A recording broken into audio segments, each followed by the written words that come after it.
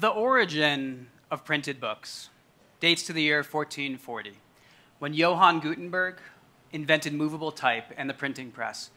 And the modern printed book as we know it was born 576 years ago. A lot has happened since then. We all know that history is written in books, but history also happens because of books. Religious reformations, political revolutions, scientific discoveries, all announced or incited by words that first appeared on the printed page. And yet, just a few years ago, despite all that history in books and brought on by books, printed books themselves almost became history. Ebooks were supposedly taking over. Their sales were rapidly accelerating, and it seemed like the long, successful run of Gutenberg's invention might be nearing the end of its useful life. From 2008 to 2012, ebooks sold more and more copies, and they were projected to surpass the sales of print books within a few years, by 2017. Encyclopedia Britannica announced in 2010 that that year's edition would be their last in print. From then on, it was digital access only. What, after all, is the purpose of this stack of paper with words printed on it when you can get the same words online, wherever and whenever you want? And then things started to level off. Print fought back. It was like a global realization set in that there's something kind of valuable in this old technology. That ebooks have their use, but they're not a replacement for all printed books. Anyone who's been in a bookstore recently knows how much more impressive printed books have become in recent years in response to their existence becoming threatened. It's like they heard rumors of their impending extinction and made themselves more desirable and attractive. Think about a printed book you have at home. Could be your favorite book or just the first book that comes to mind. What do you think of when you think of that book? Is it the plot? Or a character? Or something about that book's relationship to you? If you thought about your favorite Jane Austen or Hemingway novel, perhaps it's a feeling of holding that book in your hands. Maybe a sense of where on the printed pages a favorite scene or a passage is located. Maybe it's a memory of who you were dating when you first read that book. Printed books have the power to transport us through space and time. When I think about my favorite books, the first one that comes to mind is The Catcher in the Rye. And being 13 years old, riding the Third Avenue bus to school, holding this exact copy. It was a little younger then, and so was I. And I was heading uptown. It was a rainy autumn morning. And I became so engrossed in the story of Holden Caulfield that I missed my bus stop. Now, compare this to ebooks. If you have read one, or think of your favorite one, or just something that you've consumed on your device via the cloud, it's a little different, right? Do you picture where you were when you read the book? What the device felt like holding it in your hands as you scrolled through the pages? Do you picture where in your list of downloads that book is? Maybe it's after the Malcolm Gladwell and before that trashy romance novel you download in the middle of the night. We buy books to read them, to digest the stories they contain, to be entertained, to learn something new. But why do we keep printed books. When I look at my bookshelves, I'm reminded of the stories I fell in love with as a kid, the subjects I studied in college, how these books were so important to me that I took them with me from apartment to apartment, house to house, in and out of boxes, on and off the shelves. These books are my story. I didn't write a single one of them, but they're my story, the story of who I am. When we add books, any printed books to our shelves, something magical happens. We combine the author and their story with us and our story. And the result is a new story, and it's completely original.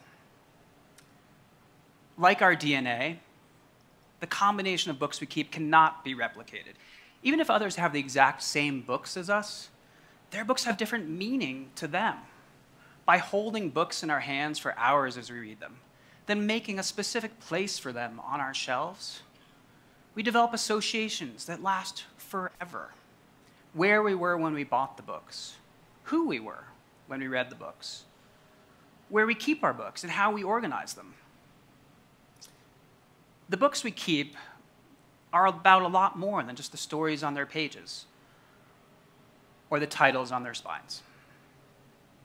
At the end of the day, and the beginning of the day too, we live in a physical world. No matter how much technologists try to convince us that we can digitize our entire existence and store everything we own in the cloud, this is not the matrix. Human beings are not computer code.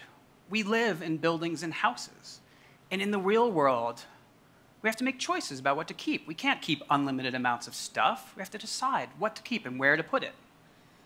We choose whether to keep a copy of Wuthering Heights or a biography of Winston Churchill, whether to give away that book about dog breeds that Aunt Alice gave you, or acquire a first edition of a beloved childhood classic. These are acts of conscious choice, but also of creative expression. Anyone who sees your books isn't just seeing the creative output of the authors who wrote the books, they're seeing the story of who you are written across your bookshelves through the books that you keep. When we add a book to our shelves, it's more than a book. It becomes like a placeholder, a reminder, an invitation, until we come back to it at any time, perhaps to reread it, or just to think about it as we pass by, or maybe respond to a guest who notices it and asks, I didn't know you were interested in philosophy. Walk into any stranger's home anywhere in the world and want to know something about them or what to talk about over dinner. Simply look at their bookshelves. When we merge our books with the partners, or perhaps add children to the house, our books take on new meaning, serving to tell the story not just of who we are and where we've been, but that of the entire family and our future. We could choose to keep other things on our shelves, fossils, perhaps, they make really nice bookends, actually. But nothing serves to tell the story of who we are, where we've been, and where we're going, like the books that we keep. The origin of printed books and all of the stories they tell can be traced back to Gutenberg and his invention 576 years ago. Fast forward to the present day, and it seems like time is simply accelerating we have less and less of it. Our focus shifts second by second. We scroll through our friends' updates on Facebook and Instagram quickly to get the story. We get impatient when a movie or a song takes too long to download. Who has time to read a book? That takes hours. Who has time to write a book? That takes years. But when we look up from our phones at our bookshelves, we're reminded that we once had time to read every one of those books, 10 or 20 hours with each one. When we look up from the movie we're watching at our books, we're reminded that every one of those books took an author years to write. We could look at our books and all the time that they represent and just feel overwhelmed, but we aren't printed books make us feel comfortable. They make us feel like everything is going to be okay. As human beings, time starved and rushing around, printed books are a reminder of the time we once had, the time we want to have, the time we hope to have. As long as there are printed words on a page, they will tell a story. And so long as there are printed books on the shelf, they will tell a story.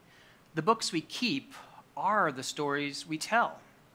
It's easy to take printed books for granted. It's old technology, but it's good technology.